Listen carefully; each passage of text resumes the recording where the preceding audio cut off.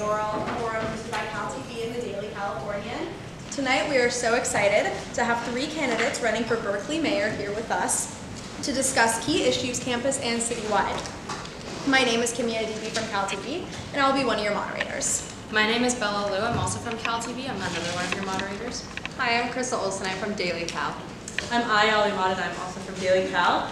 Uh, we hope that tonight offers you some introspection into your candidates on matters that matter to you. We will also have time at the end for a Q&A for you to ask your questions directly to the candidates.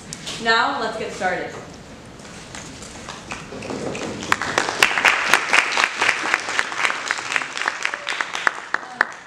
We would like to ask each of you to introduce yourself to the audience. So please take up to one minute to share who you are and why you are running. We're starting at. Hello. Ah, I'm going to turn the mic on first. Hello, I'm Kate Harrison, and I am a Berkeley graduate. I actually held mayoral forums in this very room many years ago. Berkeley needs a mayor who's a leader, who knows how the system works but is not beholden to it. Berkeley needs a mayor who knows how to make change. I am that mayor. On my seven years on council, I enshrined equity in every policy we passed. I protected workers and tenants. I made sure that we redesigned public safety and public health to benefit everyone in our city. And I reduced our GHG emissions, for example, by adopting 100% green energy and by creating the Climate Equity Fund. Berkeley also needs a mayor who knows how to find resources. I found $15 million in our existing budget for roads, parks, safe streets, and the climate. You need a mayor who's going to ask corporations to pay their fair share. That's why I wrote and passed the empty homes tax, the Uber and Lyft tax, and passed affordable housing fees. You need a mayor finally who demands transparency in the budget and council process. I will fight the hide the ball mentality that operates at the Berkeley City Council. Please be part of this journey. Thank you. Okay, is this working? All right. Good evening. I grew up in Berkeley, graduating from Berkeley High and UC Berkeley. After decades of service on boards and commissions, including Planned Parenthood and the Zoning Board, where I approved thousands of units of new housing. I was elected to the City Council in 2016 and re-elected in 2020 with more votes than any council member in the city's history. On the council, where I still serve, I've sponsored more than 600 items of legislation, including many that have been transformative. I wrote Berkeley's blueprint to end homelessness. Homelessness is down by 45%. I wrote Measures O and P, funding the largest surge in affordable housing in Berkeley since World War II. And for eight years, I engineered the return of the West Berkeley Shellmound to the Ohlone people. This race is not about who's the most progressive candidate. It's about which progressive has a track record of delivering and the experience and staying power to serve as Berkeley's mayor. I'm tested and trusted, and I'm excited to be Berkeley's next mayor. Hi everyone, good evening. My name is Adena Ishii. I came here as a student at Berkeley City College. I got involved in politics first through the budget cuts to education. I helped to organize my peers against budget cuts um, up to Sacramento, and I was able to transfer to UC Berkeley's hospital business. I was our League of Women Voters' first woman of color in 107 years. In 107 years, we had never elected a woman of color to president of this nonpartisan organization. And this is the background that I bring as a mayoral candidate. I know that we need a reset at City Hall. We have had two city council members resign, we've lost our city manager, and while this is happening, this prevents us from focusing on our problems. The cost of housing is out of control, many people don't feel safe walking around in their own neighborhoods, and our streets and sidewalks are crumbling. I'm focused on housing and homelessness, public safety, and infrastructure, and I'm excited to be running and answer your questions this evening. Thank you for having me. Thank you for sharing. For the next 45 minutes, we will now ask prepared questions these candidates have no prior review of. Candidates, you will have 90 seconds to answer questions, after which the floor is open for anyone to follow up within one minute. Starting with you, Ms. According to the annual Berkeley Police Report, violent crime rose 15% from 2022 to 2023, with sexual assault up 9% and robberies going up 32.2%. As mayor, what measures would you take to make Berkeley safer? Yeah, so public safety is one of my top priority issues. I know that it's important that we are looking at the root causes of crime. So we need to make sure we're investing in social services, mental health, and youth programming, as well as making sure that our police and fire departments have the appropriate tools necessary to keep us safe. I've been able to sit along with our dispatch, our police and fire dispatch, and I know that some of them are working far over 12 hours a day. How can they possibly be able to keep our city safe and to respond to calls when some of them are probably very tired from sitting in such long hours? I, I think it's important that we are looking at how we are looking at, uh, where that we're looking at crime because I think that so many of us um, see that these systems are inequitable. So we need to make sure that we're investing in current services and also that we are looking at how we can change our systems to make them more equitable. Keep going, you have a minute and a half. Oh. Sorry, say. If you would like. That's, thank you. Um, Yeah, Just to clarify, so that was a one-minute warning that you were giving? that was, we were supposed to do ninety Yeah, seconds. it'll be ninety That's- for the vote. Okay, so So we'll you'll tell us, ninety for this action. You'll tell us at one. but you'll tell us at one minute? We'll tell us, we'll do it one minute, fifteen. Yeah. One minute fifteen, okay, thank you so much. So keeping Berkeley safe is the number one job of the mayor and of our city. And it is something that I take very seriously. Um, And safety is a big issue at UC Berkeley for all students, but in particular, I will say that my experience is that women often feel more vulnerable. um, And um, we need to address that. I actually came into UC Berkeley as a recent victim of a very heinous violent crime. In the summer between my year graduating from high school and starting at Cal, um, I was attacked, um, and I, I won't give you the details, but I just want to say that on a very personal and visceral level, I understand this. Um, I'm already addressing it. I'm on the council. Um, in response to those numbers, I have an item that I already put forward at the city council, asking us, our city, to make plans to reduce four different kinds of harm in our city, strategic plans to reduce gun violence, sexual assault, vehicle violence, and retail theft. And the way that we're going to do that is by having a plan and carrying it out. Berkeley never has plans to reduce crime.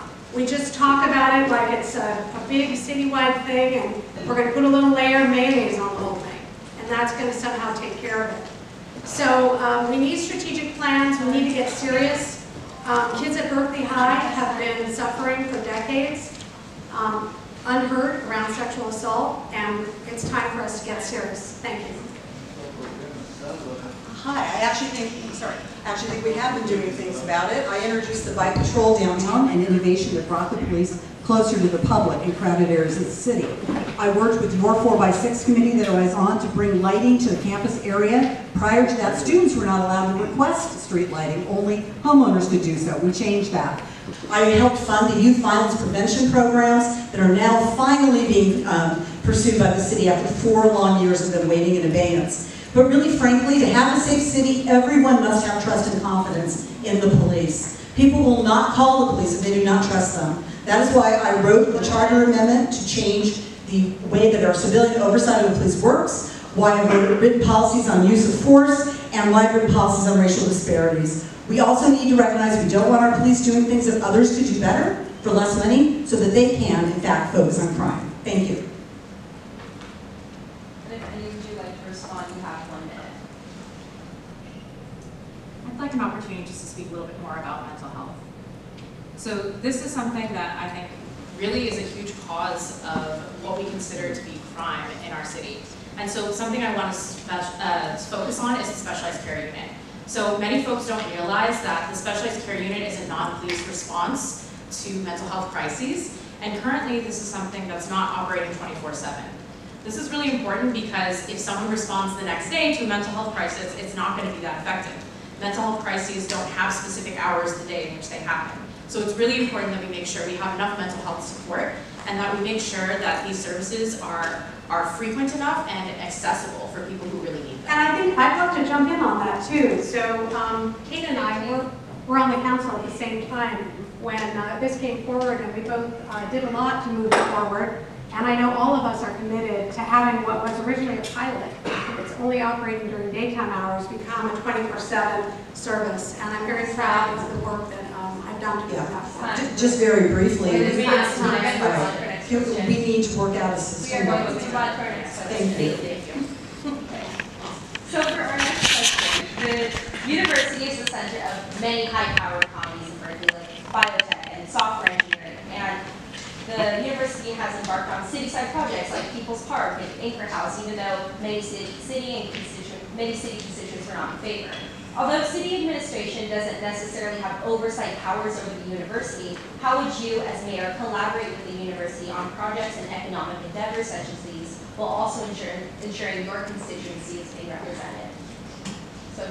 Thank you. So the tension between the, the town and gown, between the university and the community, is not something that was created by UC Berkeley or by the city. It was created by the state legislature when they made the UC system essentially its own, its own entity that doesn't even, that doesn't even uh, answer to our state legislature. And it created a system where they don't, they're hosted by our city, but they don't pay taxes. They don't, uh, they don't pay to flush, literally to flush their toilets down our sewers. We provide, uh, fire service at no cost to the university. And so, but I think that it's important for us to understand that neither of us created this. And we need to work together, first of all, to go to the legislature and say, help us figure this out. It's not fair. It's not fair for the people of Berkeley to subsidize the university. It's great for everyone in the state to do that, but it's not fair to ask the people of Berkeley to do that. And by the same token, I think in Berkeley we need to recognize the incredible contribution, not just of the university, but of you, the students, to our community. And so, you know, my, my goal is to have a positive, um, collaborative working relationship where I still hold um, my responsibility, my fiduciary responsibility to the city of Berkeley, but approach problem solving in a can-do, cooperative manner, knowing that the tensions are not of either of our making. Thank you. Yes, thank you very much for this question. The first thing we need to do is demand the university build housing. Why do we still have a parking lot at Channing when we could have student housing? Why don't we have housing at the Oxford track? We need the university to speed up. Other campuses in cities with UCs are required to add housing as they add students. Our university is not doing that. In fact, we're building a new parking lot at Fulton and, and uh, Bancroft instead of building student housing. So number one is demanding that, asking them not to continually master lease apartment buildings in the city because that just takes tax revenue away from us this is a zero sum game. We're not adding anything. We also have successfully asked them to participate in homeless services with the team that's on Telegraph, and I think that's a very important thing.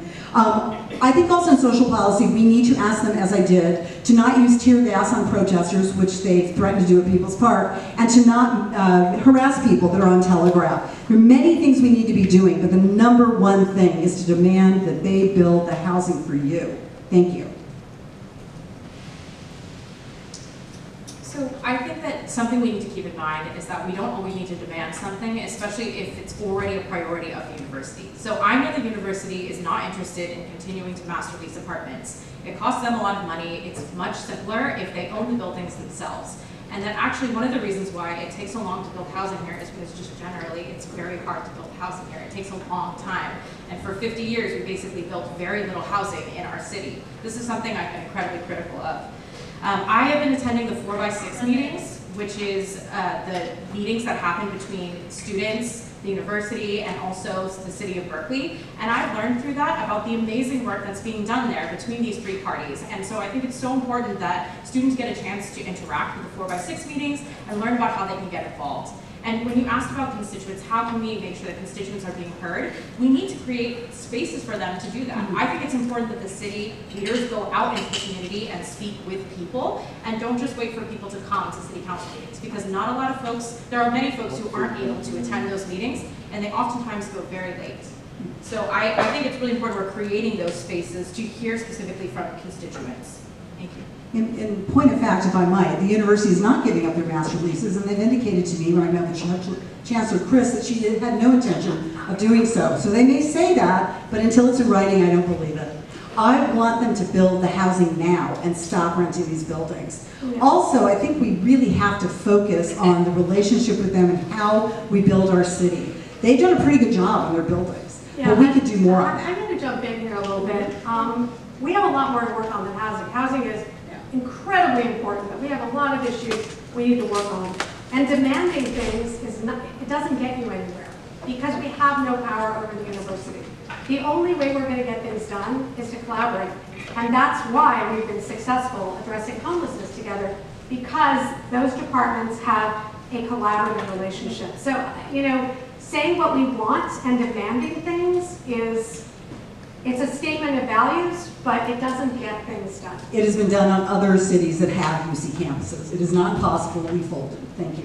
Um, Something that's important to add is I'm sorry, that that's. We're moving on to the next question. it's one minute for the entire rebuttal for all Yes. three. Yes. Yes. The city council has supported sweeping unhoused encampments, even when housing cannot be provided by the city. A common problem cited by many unhoused individuals is that the temporary housing does not meet ADA requirements and creates a hostile, isolating environment. How will you address improving transi- transitional homes? Um, I had sponsored what was known as the Grayson Facility, which was the ability of RVs to park, 50 of them, and for people to live inside an open warehouse, in tents, but in community, and to cook together, build a community, get job training, get their IDs, just the basics. That's what we need to do. We need to focus on programs that have services, and we have done some of that in Berkeley.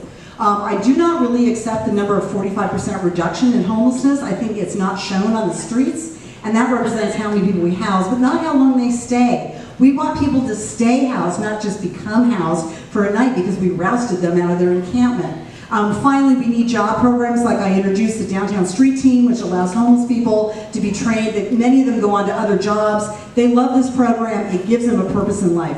Let's recognize that these are human beings and treat them as whole people and provide facilities and services that do that. Thank you.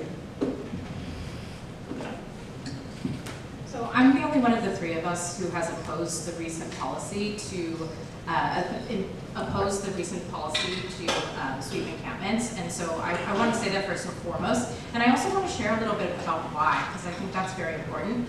When I've gone down and spoken with people who are living in encampments, they've told me stories about how they've lost so many of their personal belongings, medication that they need, and also personal documentation. And what happens is if you're on the housing list, and then all of a sudden your, your belongings get swept, it can be even more challenging for you to access housing. So it's so important that we're looking at how we can make sure that we're providing enough housing for folks in shelters. And I just want to comment, you said transitional housing, there's, there's actually a lot of different layers within here. And I think it's important that we take a step back and we look at how we're providing housing and serving our unhoused population so that we can see the gaps in the systems. Because right now, there are a lot of different agencies that are working on this issue, and many of them are not getting a chance to, to take the time to speak together. And it's not their fault, it's just that oftentimes there isn't enough time because they're so busy doing all the work in the city. So we need to make sure that we're continuing to support measures like Measure P and Measure W so that we are having enough funding to support our unhoused population. Well, thank you very much, and certainly having authored Measure P and Measure W, I really hope people are going to vote yes, that's the money that we use to rehouse people. So the city of Berkeley does not have a policy of sweeping encampments. We never have, not since I've been on council, and I will never support that. I wrote our city's homeless policies in 2017, and our council approved them. They are humane, they are housing first. We do outreach for health, mental health, housing intake. We provide food in the field. We do garbage pickup for people, for, for encampments. We do a lot to lift people. And that is the way that we have actually taken 45% of people off the street. And that is a real statistic. That is from the federal count. And it is a snapshot in time and it takes into account anyone who may have been housed or been in a shelter who then uh, went back onto the streets because that does happen. Humans are not widgets. Getting housed is a complicated process and not everybody who is rehoused or gets into a shelter is able to maintain the housing. It is a real number, 45% reduction in unsheltered homelessness based on our humane policies. We have rehoused more than 1,700 people since 2016, and that is our policy. I- I'd like to push back on that. Um, We definitely do have a policy that ha- allows for sweeps in the city. In fact, we have an activist in the audience today who I know has personally gone to prevent sweeps from happening. And in a previous forum, you you have said, Councilmember Hahn, that sweeps are not happening. And I've been on the street and spoken to folks who have experienced sweeps, so I know it definitely is happening. And so when we say that we as a city provide humane and a compassionate approach, that is just, you know, there are people who do. I, I don't accept you denigrating the programs that I'm are sorry, actually speaking. rehousing people. Excuse me, I'm, I'm still speaking. So, you know, we say that, that there's a humane and compassionate approach, and I would say even though there are some people who are doing great work in our city who are providing that humane and compassionate approach, that is not our general policy, and that there are people who are experiencing a lot of loss in our city and additional trauma. Yeah, frankly, the uh, city had the authority to remove dangerous encampments before, and if they are indeed dangerous, I think we should do that, but house people. My problem with the policy as it's stated right now is it still includes fines, and I think fines are criminalizing. Thank you. South Berkeley has a vacant storefront rate of twenty percent and no business corridor. The area has been historically gentrified and holds the majority of Berkeley's black population. How would you support this historically underserved part of Berkeley?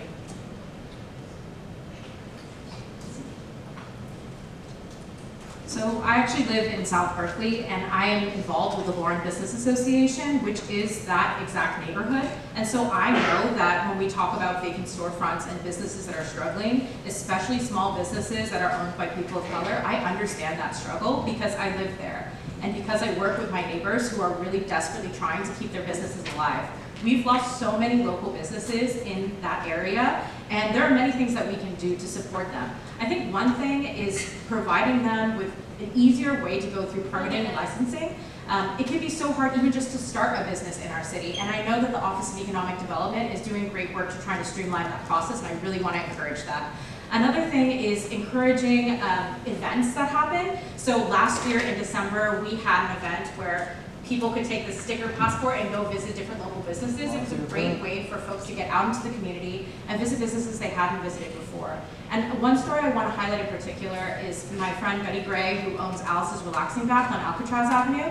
She has really struggled for 30 years to keep her business open, and she has spoken very passionately about how that business kept her and her family off of welfare. And we need to make sure that we are serving that population because as an elder, she isn't as tech savvy and isn't able to access many of the resources that would normally be available on our city's website. So we need to be going out into the community and actually seeing what's going on instead of just looking at people who are able to come to us and have the privilege and ability to do that. I think, is it circling around or this way? Okay, sorry about that. So I, I would never go into a- a black and brown community and start telling people what my ideas are. And that's why the way I have been working with people in South Berkeley is to actually listen and to support the initiatives that are coming organically from the community. There's a huge project called Equitable Black Berkeley that has, that has started and has been um, continuing for many years now with a group of, of local people who want to restore the Adeline commercial corridor and who want to rebuild um, the, we've lost, we've lost three quarters of our African American population in Berkeley. And they, they have the vision to rebuild an equitable Black Berkeley. So I've already sat with them in meetings with Barbara Lee, and I'm working with them in support of their vision. That's how I work. Now, small business in general. I was previously a small business owner myself. One of the first items of legislation I did when I joined the council was a small business support package that has driven a lot of changes that have been helpful to small business. I um, am the person who wrote the outdoor dining and commerce legislation during the pandemic that allowed our businesses to survive. And I recently um, have put forward a- an item of legislation that's called First Year Free that waives fees and um, uh, taxes for the first year for new businesses. Thank you. It is important to help businesses that are still here with programs such as mentioned and the legacy business program that I created, also giving business rewards for doing clean energy, etc. But really we have to ask the first question, what is the root cause of this? The root cause of this is development that comes in and kicks out small businesses and then does not build. They get planning permission, they sit there, you know, the missing link had to leave because they were evicted by their, the property owner. There's not a new building there. Do you want to build housing? Yes, do it. But do not kick out our small businesses in the meantime. Therefore, I support a vacancy tax on commercial businesses like the one that I passed for residents. I support required relocation of businesses, and I want to require builders to have one to two years to get started on building and not leave vacant holes in the middle of our city. That's what we have today.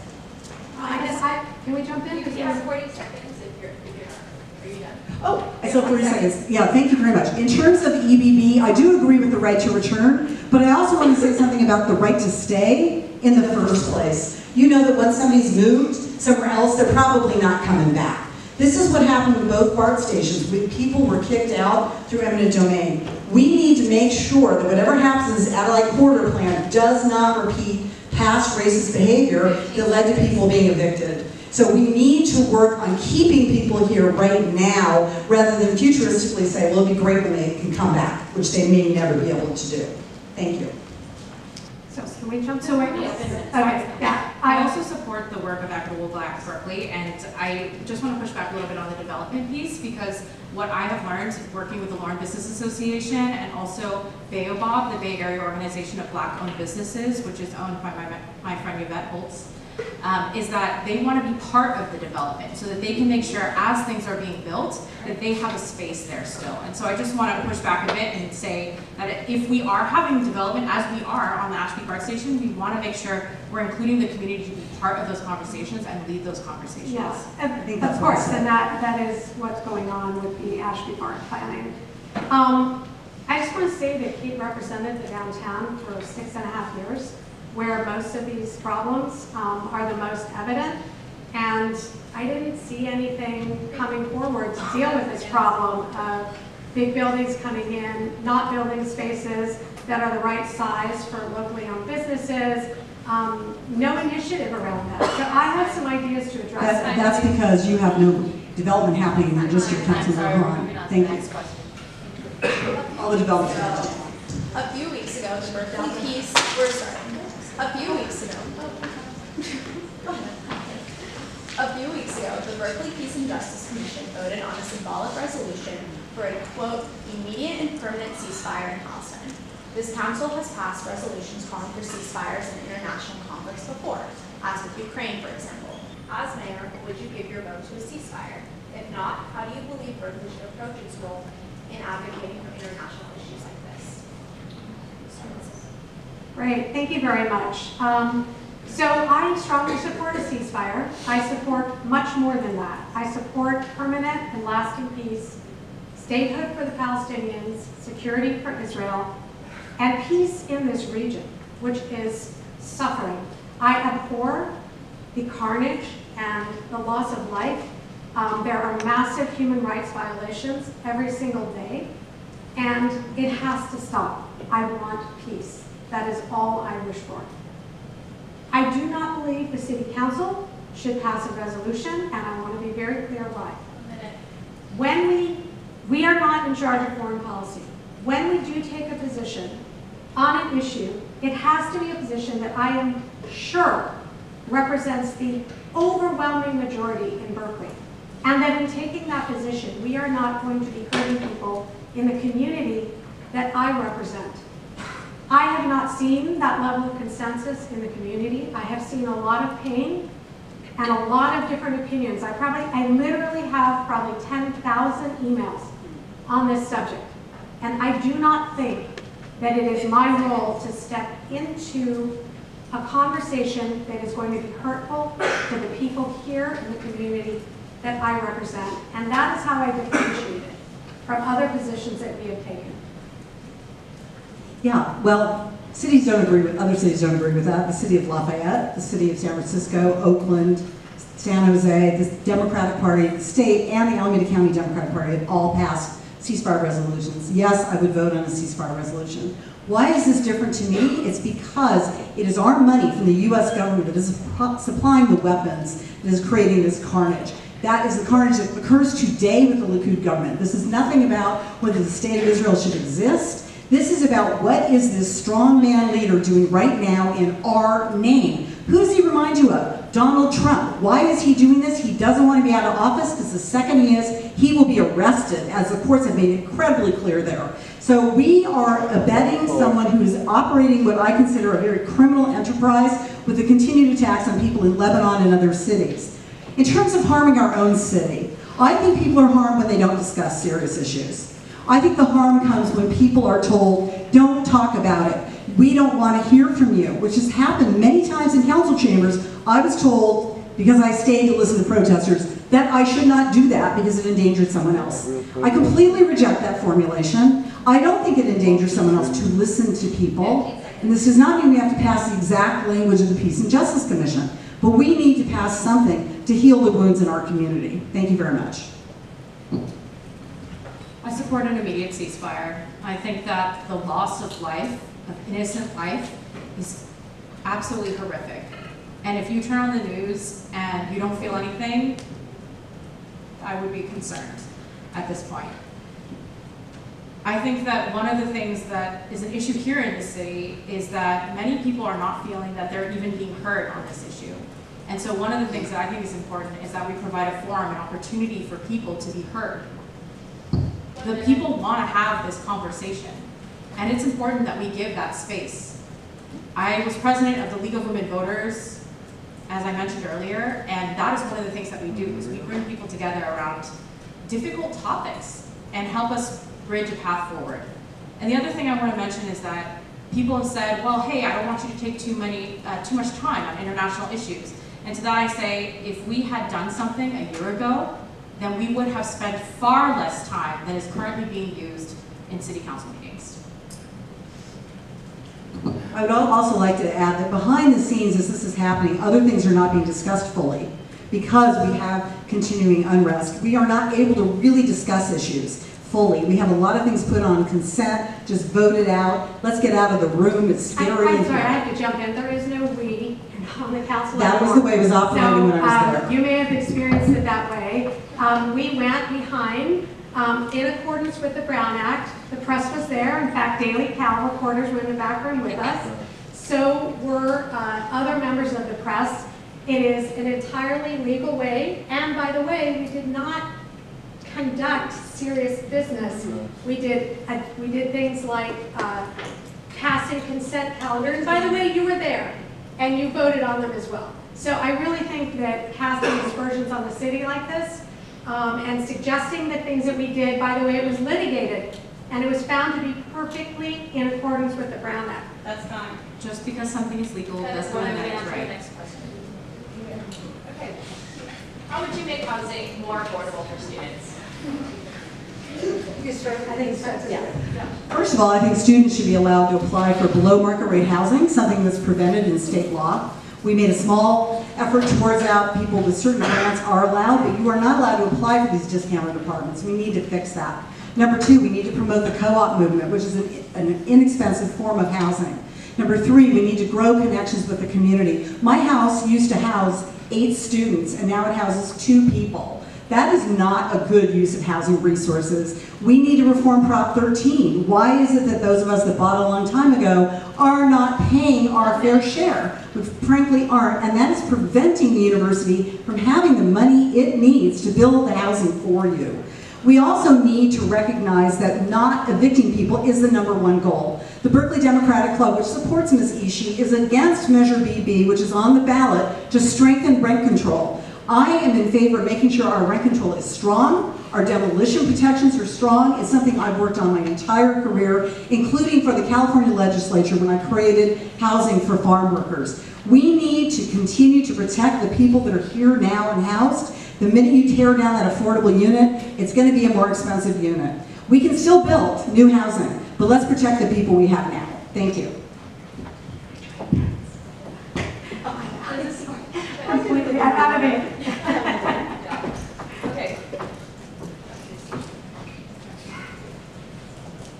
So when I was a student at Berkeley City College, um, as I was transferring to UC Berkeley, I experienced housing insecurity. it's hard to talk about because my mom's in the audience today, but I'm someone who's experienced domestic violence, not from her, just to be clear. But, um, you know, uh, and so, you know, when I was a student, the co-op system, I was able to fish there, which means that I was there illegally. Um, but the co-op system was the system that really helped me to, to get access to housing when I really needed it.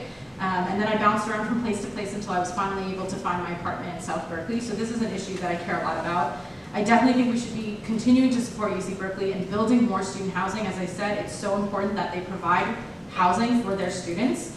Um, and one of the things I want to say about barriers to affordable housing is just the price. It costs so much money to build affordable housing. So we absolutely need to find more funding to subsidize the building of affordable housing. And I just want to also make sure it's clear, I support Measure BB, even though there are organizations that support me that don't. That doesn't mean that I align with them fully. I do support Measure BB. And I also worked here in the Student Legal Services Office with your attorney that can represent you on any issues that you have with, uh, with landlord-tenant issues. And that is so important. I think that many students don't know about their rights. And so I highly encourage you to check out the Student Legal Services Office because the attorneys there can provide you with a lot of resources and support, especially to prevent you from evictions or fight any habitability issues. Thank you. Thank you. So affordable housing is the, is the biggest crisis that we face here in our community, and it drives other crises like homelessness and food insecurity, which a lot of students sadly also experience. Um, UC Berkeley has shamefully, shamefully neglected housing. I will tell you that when I started UC Berkeley in 1979, it had such a terrible housing crisis that students originating from, from zip codes nearby, which myself, because I grew up in Berkeley, we were not allowed to apply for the dorms or for the co-ops. That was challenged in court and struck down later, but this is, every year students come to Berkeley and they think, how can it be this bad? It's been this bad for decades. They have abdicated their responsibility. Measure BB, I was the fifth vote to put it on the ballot. And I wrote the ballot argument uh, and signed the ballot argument against the other measure, the landlord measure, which is a terrible, terrible measure that needs to be voted down. We just upzoned the south side, tripling the development capacity so that larger buildings can be built. We're doing our part as a city. And I also am a huge supporter of the student co-ops. When I wrote Measure O, the largest bond in Berkeley's history for affordable housing, I made sure that the co-ops could access that money. Sadly, they didn't step forward to get it, but I hope when we do another bond, they will. Um, yes, uh, respectfully, Councilmember Hahn, it is not the same for this generation as it was for us. Let's just be frank. How much student debt did you have when you left college? I had zero. How did you get through? You lived in group housing. And I wasn't fortunate enough to grow up in a home in Berkeley. I grew up in an apartment in the peninsula. And I did face housing challenges but it is not what is faced today by students. This situation is significantly worse than anything we ever had. I don't even want to tell you what our tuition was because you will kill us all right now on the stage. Oh, she's going to tell you.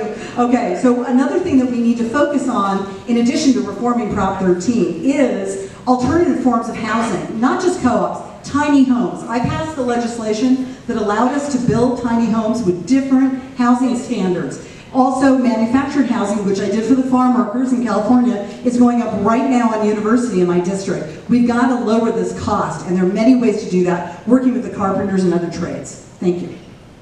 Um, We will now be moving on to candidate-specific questions, so starting with you, Ms. Ishii.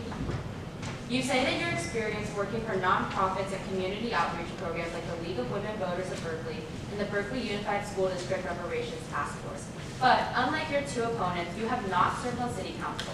What would you say to voters concerned about your lack of in-government experience? I love this question. Thank you for asking this question because uh, both of my opponents, well, I would say specifically one opponent has consistently talked about how untested I am, how I don't have experience, and quite frankly, I think that's pretty common to hear as the youngest person on the stage, as the woman of color on this stage, um, I don't have 30 years of experience in something because I'm only in my mid-30s. It's not possible for me to have 30 years of experience in something. Um, and I just want to just talk about the League of Women Voters. It's not a community outreach organization. It's actually a nonpartisan political organization. So we do everything from registering people to vote advocating on different issues, and also holding forums like these. So I've gotten a chance to work with our city council and our mayor on a number of measures, including measures O and P, which I know that Councilmember Hahn likes to talk about how she wrote it, but I did the groundwork to actually make sure that it got passed. And I think it's important that we don't dismiss the work on the ground that people are doing, because I think that the work behind the scenes is oftentimes the work done by women and people of color. We have one minute. Follow up to that? Yeah. Um, go ahead. Okay. I was- Yeah, I, I'll, I'll just say that, um, Mayor Arreguín was elected at the age of thirty-two, and he had a ton of relevant experience. So it's not an age issue, it's about where you spent your time. Um, I mean, I think he had already served the city for fourteen years, um, when he was elected. Um, so I just, I just want to say that, um, running a city like Berkeley is, is a complicated thing, and it's not an entry-level job. No comment, thanks. Yeah, I think comments like that, entry-level job, I think that that really proves my point that I was trying to make. So, um, yeah, I, I also want to comment on the fact that, uh, Councilmember Hahn, uh, talks a lot about her experience writing legislation, and that's not the mayor's main responsibility. The mayor's main responsibility is to facilitate the city council meetings and be the face of Berkeley.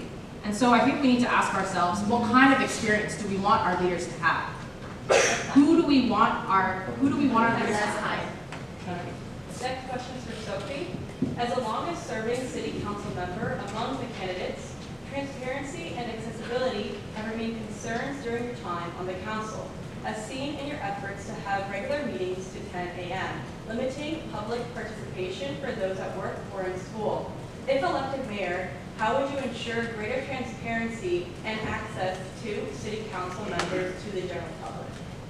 Well, thank you, because I value transparency and accessibility. So throughout the time that I've served, I always have town halls, I have meetings, uh, meetups at uh, farmers markets or in cafes, so I really try to provide a lot of casual opportunities. Sometimes it's just come, um, come, come as you will. Other times I give like 15 or half hour slots that people can sign up for. So I go out of my way to be very accessible outside of the formal council setting, and I will continue to do that as mayor. One minute. When I wrote and got Measures O and P passed, um, I went on a tour of the entire city. I went with Mayor Arreguín, we talked to churches, we talked to neighborhood groups and community groups.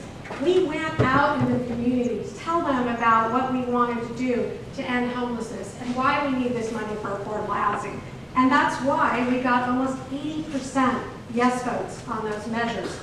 So there's a lot of different ways that I have and will continue to be transparent and accessible. On the council meetings themselves, while in some ways, the pandemic actually created a lot more accessibility than we had. Because before the pandemic, we didn't have remote participation. So actually, we have opened up participation significantly by allowing this hybrid format. And we have the ability for people to be at home and participate from home. You. Um, you talk about town halls, but I notice you haven't had a town hall in your district about rezoning. And perhaps that's because it's been excluded, whereas the council members in districts one, two, and four have decided to talk to Actually, people. it's because the, I was um, talking, excuse me, please interrupt me. isn't this the uh, rebuttal part? So I get to talk.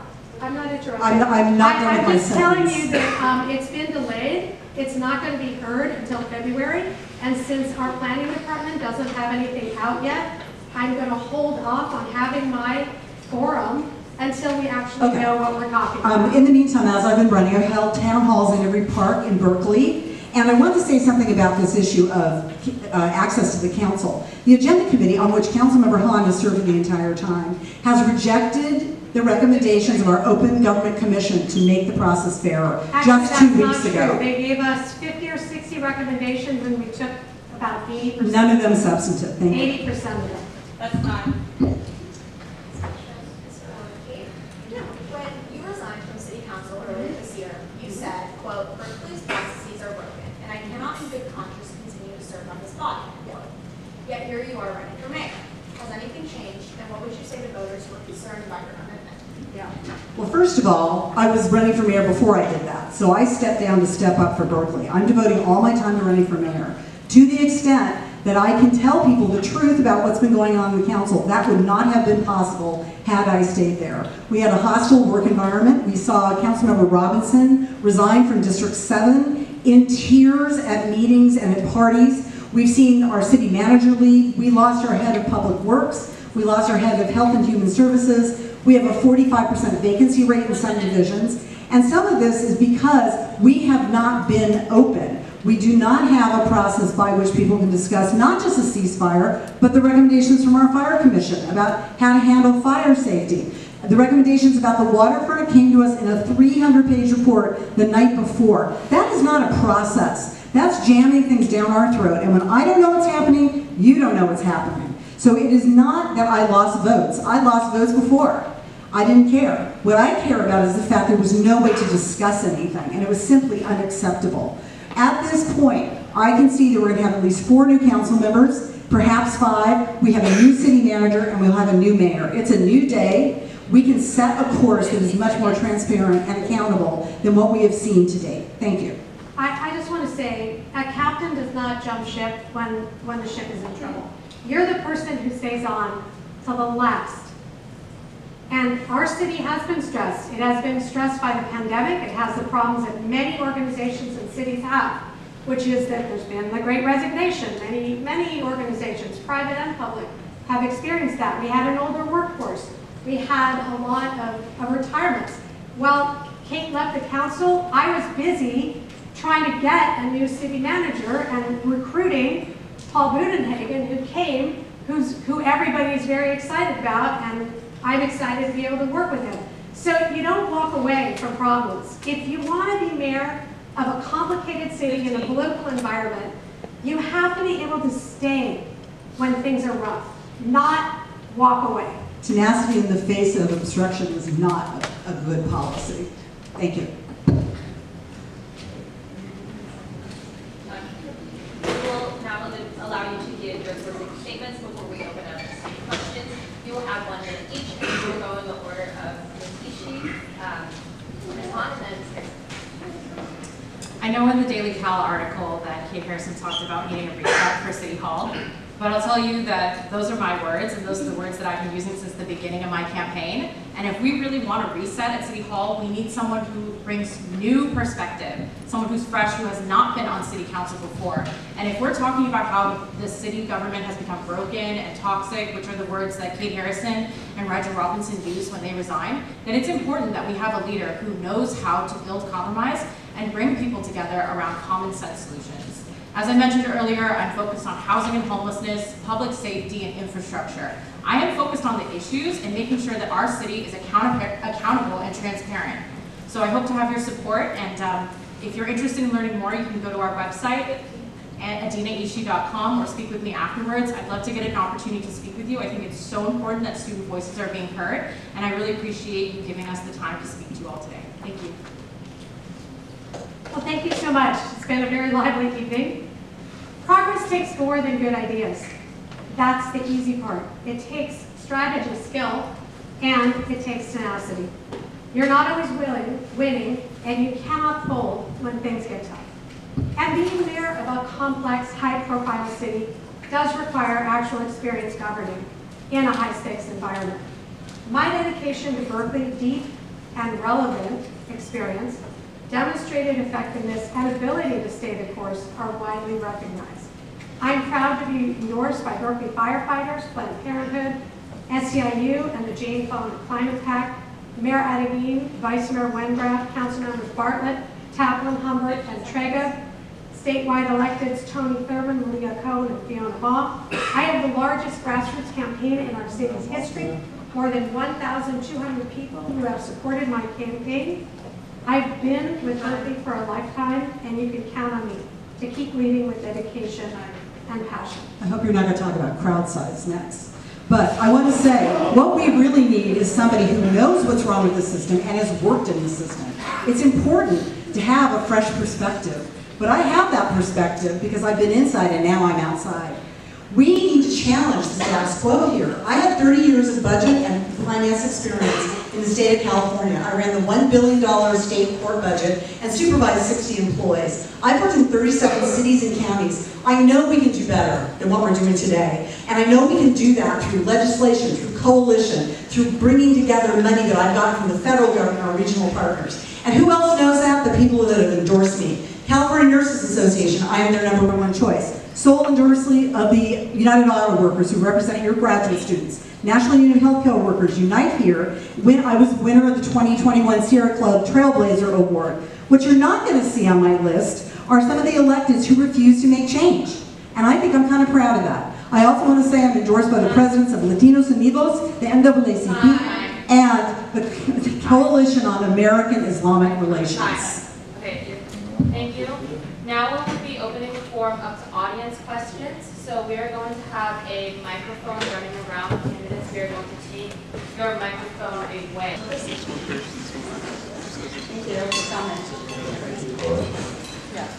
Thank you ready? Hello, everyone. Um, I feel a lot of tension on this stage, and I feel like an important part of being an elected, an important part of working in this city, is being able to navigate different personalities, navigate different policy topics, and being able to bridge uh, the types of concerns and the types of issues that we're working through with colleagues that you have who might not always agree with you. Um, can you speak to how you plan on being a different type of candidate, a candidate with a fresh, not only a fresh perspective, but also um, a willingness uh, to work with your colleagues in a way that doesn't feel like bickering? Um, I reached an incredible amount of consensus on this council. I was a tie-breaking vote for accessory dwelling units in the hills. I brought forward legislation to eliminate natural gas in all of our buildings, which was unanimously voted on.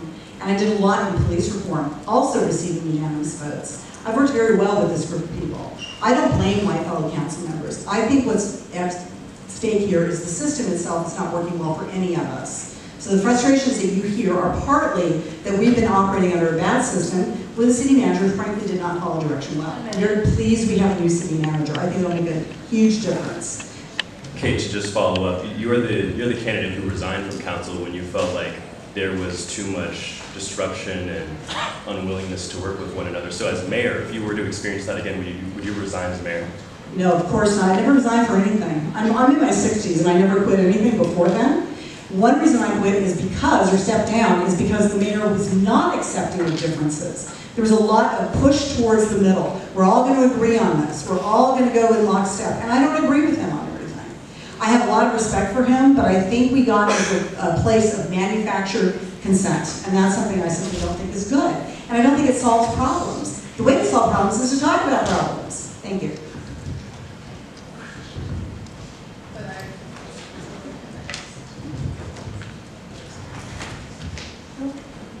Oh, we don't, it's a long Not enough for me. the other way.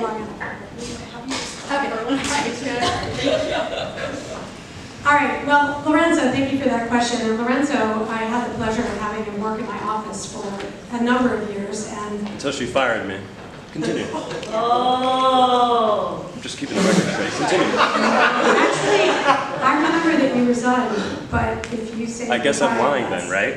Yeah. Sorry, Continue, please allow Sophie. Continue. I apologize. Continue. Continue. Okay. Um, so I, Tough, right?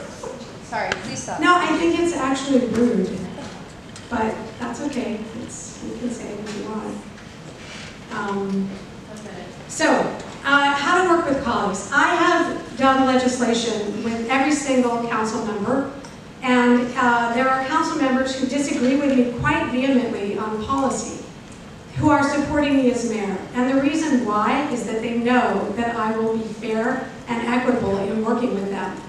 I actually admire the way Mayor Arreguín has tried to run our council. He took a very fractured council where people actually came to blows at times, um, and who, and on the dais, and he really, really tried to make a respectful, respectful council experience, very, very patient and very open to hearing from the community. And I want to continue to govern in that way. I actually think, as mayor, if you have not listened to and taken into consideration every, the opinions and perspectives of every one one that the voters sent to the city council, then you're not doing your job. As a council member, you can take those protest voice, but as a mayor, it's a different job. Thank you. Um, we're allowing all three of Oh, like, okay. just be Here, I don't want to trip anyone. So, okay, so I've already talked about this a bit, but my work with League of Women Voters was about bringing people together um, across differences so that we're able to have conversations. So often, I was working with folks who completely disagreed about things, came from very different backgrounds. I think this is really important because we need to hear from everyone. A democracy is supposed to represent all of its people. And it means not only working together with people who disagree, but also being intentional about how we're reaching out to the community and speaking to the people whose voices we're not hearing currently. I, I really appreciate that question because I, I'm also someone who thinks it's really important that we have a mayor who has a temperament that enables people to be very critical um, and not respond in a way that is, um, that is aggressive, for lack of a better word. Please allow your attention to five seconds. I just want to say that the mayor stopped meeting with all of us in the last year. Perhaps he met with Councilmember Hahn, but he stopped having meetings with any council member. So I think he went too far the other way, and that's one of the reasons we have the issues we do today. He was very good about everything. Thank you. We have 15 seconds if anyone wants to make any more comments. Oh, I'll just say that yes, during the pandemic, a lot of things changed, and the mayor did not meet with me weekly either, and I think that would have been good if he continued doing that. But I certainly, my, my goal is to be very accessible and work collaboratively with all council members. I want them to be successful in things that we share an interest in, and on things where we don't share the same views, I will respectfully run meetings and make sure that their opinions are heard. Okay, and I think we have one more question. Do you have any other audience questions? Yeah. Um, Hi, good evening. So I appreciate you guys for being here, but let's be honest, students aren't voting for you. Students are overwhelmingly registered at home, down in Berkeley. How will you hold yourself accountable to student interest when they aren't voting for you? Yeah, thank you so much for that question. I, I have said, this at multiple forums that we've had at UC Berkeley. First and foremost, I want to say, I think this is our fourth forum at UC Berkeley already, which is awesome because it really shows that we are all committed to making sure that we're hearing student voices. Something that I want to say in particular though is that I have worked uh, to bring up the idea that we actually have students re-register to vote at orientation and that they get a chance to meet their city council members and representatives at orientation, at the very beginning of when they're students here. Because we represent the entire city of Berkeley and that includes students whether or not you vote here. And obviously the impact of the things that happen here, uh, you know, impact you all. And so we want to make sure that your voices are being heard. As I mentioned earlier, I've been attending the four by six meetings, and this is another way that I think that we can make sure that student voices are heard. I also want to encourage students to get involved in the city. I have a fellowship program with 10 fellows. Seven, seven of them are UC Berkeley students. This is another way I've been hearing feedback. They're all sitting throughout the audience. So thanks for being here, y'all. Well, thank you very much. Um, I just want to be very clear. Um, when you're elected, you represent the people who supported you, the people who didn't vote at all, and the people who voted for someone else and don't like you. You represent all those people. And so the fact that people may or may not vote at Berkeley makes no difference to me in terms of my level of concern for their well-being and for the issues that are important to them. So working with students, um, I don't have a, I don't represent a district that um, borders on, on the university, um, but I have uh, regularly appointed students to commissions. I've had many students as interns in my office. Um, one of my commissioners um, actually went on to uh, advocate for UC Berkeley to provide medical abortions on campus. She was successful doing that with my support. She, she then went to the state legislature and we were able to get it so that all UC and CSUs must provide medical abortions through their health services. This is a huge victory and this is literally a student who came to me with this interest, who I appointed to a commission and then worked with to help her have that kind of success. So as mayor, I will continue to do that kind of work, but also have regular meetings on campus with different, different student groups, as well as forums that um, all students may be in, invited to. Um, I worked on legislation with students, and I'm looking forward to continuing that. Thank you. Well, I did represent a district that bordered the campus. 60% of my district are tenants. Working with Cal students, I passed the Better Berkeley Bag Ban to make sure that we had compost bags in our grocery stores. I co-authored the Southside Plan to get you housing in the Southside of campus. I co-sponsored three e-bikes for low-income students. Working with BCC, I worked to put people on the Climate Commission that were youth that the school uh, district would appoint so that we have your voices because the climate is your crisis as well as ours. And with the high school, people that don't even vote yet, I worked with them on a healthy checkout ordinance. I am really happy to be endorsed by Cecilia Luna Parra, who's your council member for this district, a supermajority of the elected board, Telegraph for the People, Cal Berkeley Democrats, and East Bay Animal Rights PAC, because I represent young people every single day. Thank you very much for your time tonight.